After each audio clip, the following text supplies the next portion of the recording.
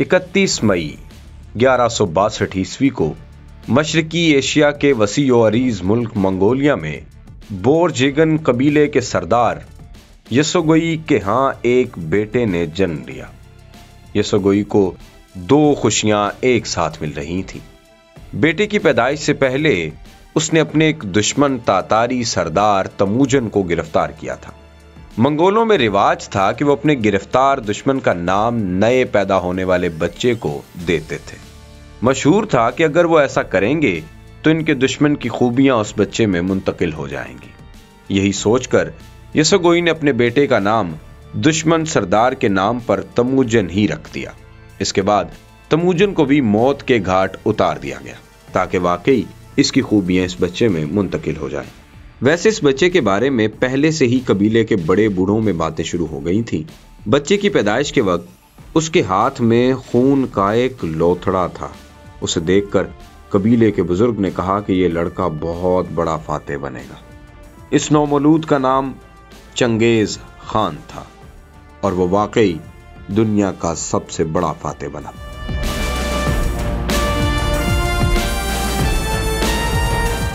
नन्हे Genghis Khan को Mongol रिवाज के मुताबिक बचपन से ही घुड़सवारी और तीरंदाजी में माहिर बना दिया गया। जब तमूजन नौ बरस का था तो उसके बाप सरदार यसोगोई को किसी ने जहर दे दिया और उसकी मौत हो गई। उसके बाद चंगेज खान और उसके घर वालों पर मुसीबतों का पहाड़ टूट पड़ा। उनके कबीले वालों ने चंगेज खान को उसकी माँ और बाकी भाइयों के साथ कबीले से निकाल दिया। कबीले का कोई और ताकतवर खानदान सरदार बन गया। चंगेज खान और उसके घर वाले तनहा हो गए। अपने खानदान का पेट पालने के लिए चंगेज खान लकड़ी और हड्डियों से हथियार बनाकर जानवरों का शिकार करता था। लेकिन बचपन से ही वो इतना जालिम था कि उसने अपने एक सौतेले भाई बेकतर को मछली चुराने पर तीर मारकर कत्ल कर दिया था। जब वो जवान हुआ तो उसकी ताकत और बेखौफी से लोग डरने लगे।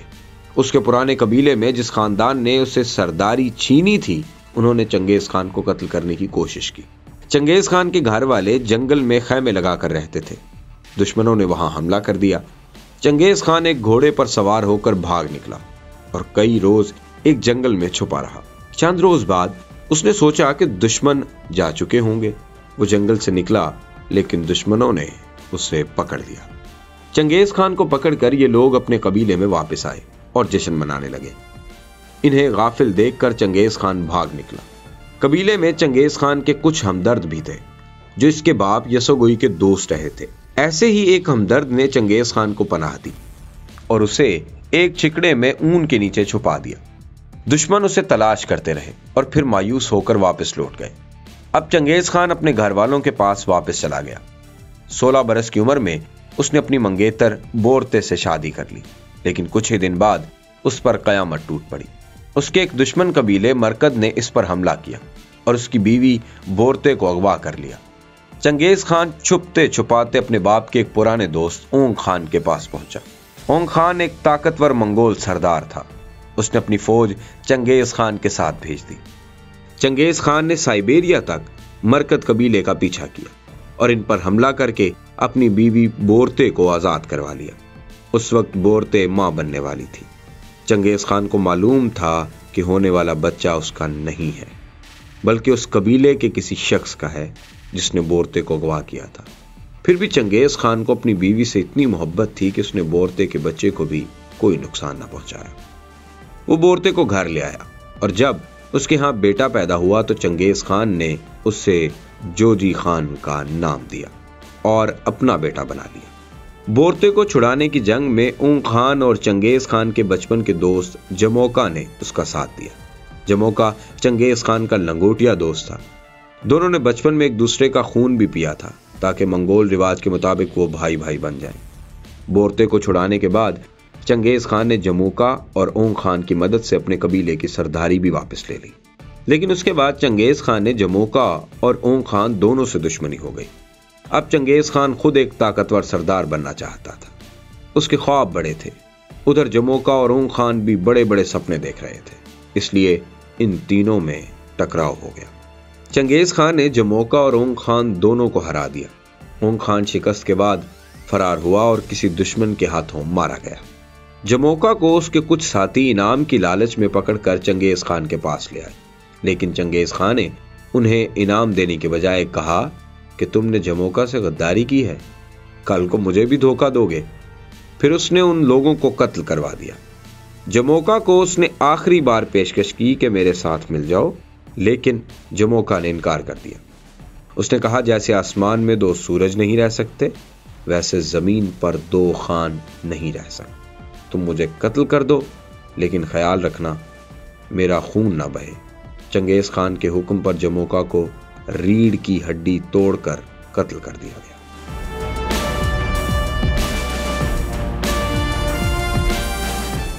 जमोका और ऊं खान को रास्ते से हटाकर चंगेज खान मंगोलिया का बादशाह बन गया। अब उसने एक बहुत बड़ी सल्तनत कायम करने के लिए अपने मंसूबे पर काम शुरू कर दिया। उसने पहले अपने पड़ोसी मुल्क चीन पर हमला किया। चंगेज खान ने अपने सिपाहियों को बताया कि नीला आसमान जिसकी हम पूजा करते हैं उसने मुझे फतह की बशारत दी है। फिर चंगेज खान अपनी फौज के साथ चीन पहुँचा और शुमाली चीन पर कब्जा कर लिया।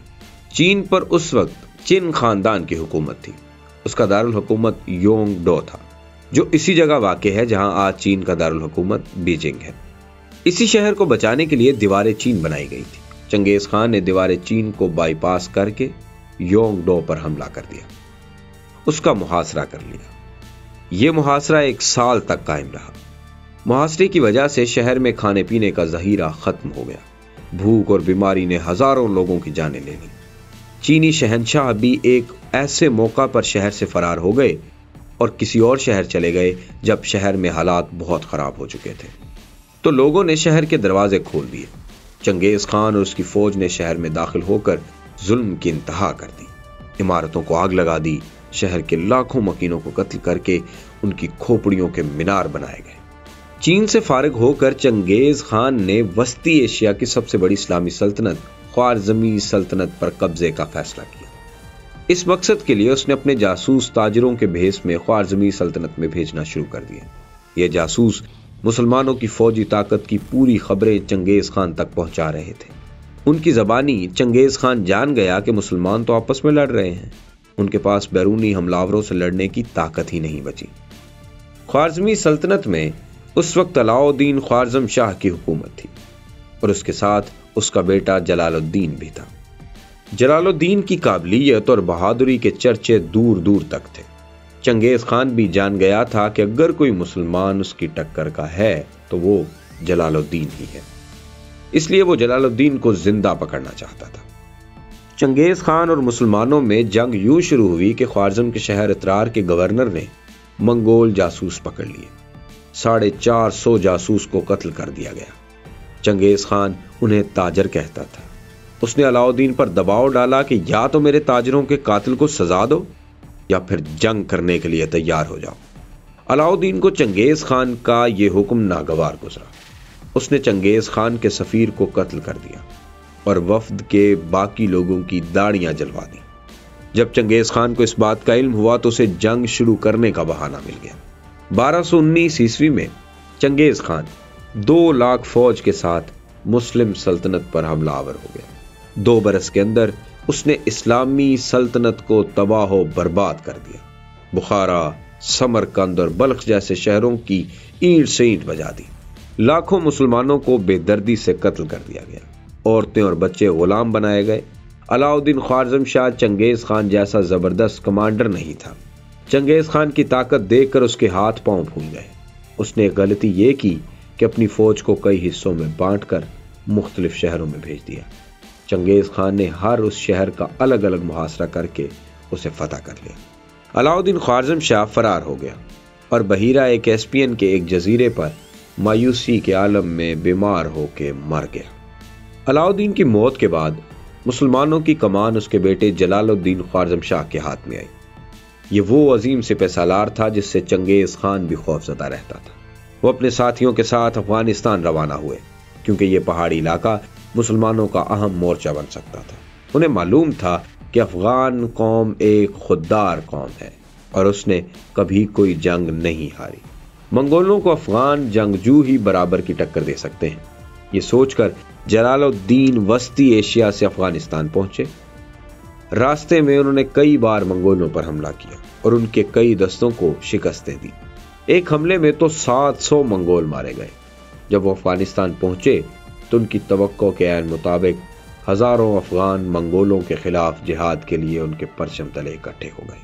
जलालुद्दीन ने अस्सी हज़ार की फौज जमा कर ली और मंगोल फौज का इंतज़ार करने लगे।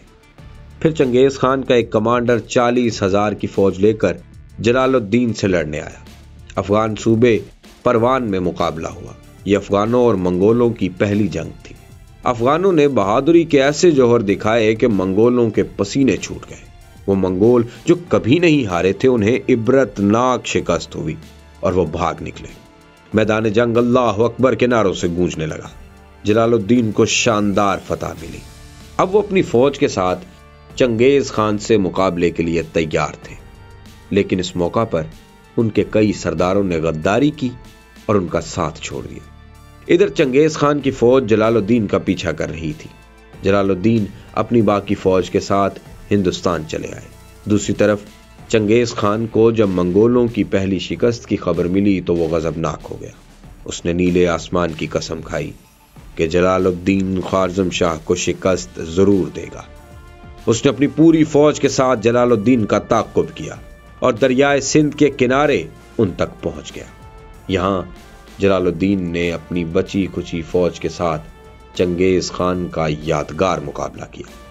चंगेज खान के हज़ारों मंगोल सिपाही मारे गए। जलालुद्दीन खुद तलवार हाथ में लिए दुश्मन का बेजिगरी से मुकाबला कर रहे थे। उनकी बहादुरी देखकर चंगेज खान हैरान और परेशान रह गया। अगर जलालुद्दीन के साथियों ने उनका साथ ना छोड़ा होता तो उस दिन चंगेज खान को शिकस्त ज़रूर होती। लेकिन क्या करें कि मुसलमानों को हमेशा गद्दारों के हाथों शिकस्त खाना पड़ी। जलालुद्दीन की कम फौज भी ज़्यादा देर मंगोलों का मुकाबला ना कर सकी। उसे शिकस्त हो गई। जलालुद्दीन के बेटों और खानदान के बहुत से लोगों को मंगोलों ने कत्ल कर दिया।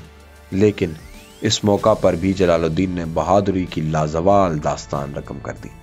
वो अपने घोड़े समेत दरियाए सिंध में कूद पड़े। दरिया में तुगयानी थी। किसी को यकीन नहीं था कि जलालुद्दीन ज़िंदा बच जाएँगे। मंगोल तो इतना डरे हुए थे कि अपने घोड़े दरिया के करीब भी नहीं ले जा रहे। लेकिन जलालुद्दीन जैसा बुलंद हिम्मत और दलेर मुसलमान घोड़े समेत दरिया में बढ़ता चला गया। एक मंगोल ने उन्हें तीर से निशाना बनाने की कोशिश की, लेकिन चंगेज खान ने मना कर दिया। चंगेज खान ने यह भी कहा कि काश ये मेरा बेटा होता। जलालुद्दीन ने दिल्ली के सुल्तान अल्तमश से मदद मांगी, लेकिन वहाँ से भी इनकार हो गया लेकिन जलालुद्दीन ने हिम्मत नहीं हारी। ये वो वक्त था जब सारे मुसलमान बादशाह चंगेज खान और उसकी औलाद की खुशामद कर रहे थे। जलालुद्दीन चाहते तो वो भी मालो दौलत या हुकूमती अहदे के लिए चंगेज खान से लड़ना शुरू कर देते। लेकिन वो दुनिया की चंद रोज़ा ज़िंदगी की खातिर अपना ज़मीर बेचने पर तैयार नहीं हुए। उन्हें जब भी मौका मिला, वो मंगोलों के खिलाफ जिहाद करते रहे। वो जॉर्जिया भी गए और वहाँ भी अपनी हुकूमत कायम की। लेकिन मंगोलों ने उन्हें वहाँ भी चैन से बैठने नहीं दिया और उन्हें वहाँ से भी निकलवा दिया। मंगोलों के दबाव पर बगदाद के खलीफा समेत कई मुसलमान हुक्मरान जलालुद्दीन के खिलाफ अपने अवाम भड़काने लगे। लेकिन जलालुद्दीन की मकबूलियत कम नहीं हुई। मुसलमानों का ये गुमनाम हीरो 1231 में मंगोलों से आखिरी लड़ाई के बाद लौट रहा था कि उन्हें रास्ते में कुछ हमलावरों ने शहीद कर दिया। इन्ना लिल्लाहि व इन्ना इस्लामी सल्तनत पर हमले के चंद बरस बाद चंगेज खान की भी मौत हो गई। पैंसठ साल की उम्र में वो चीन चला गया था।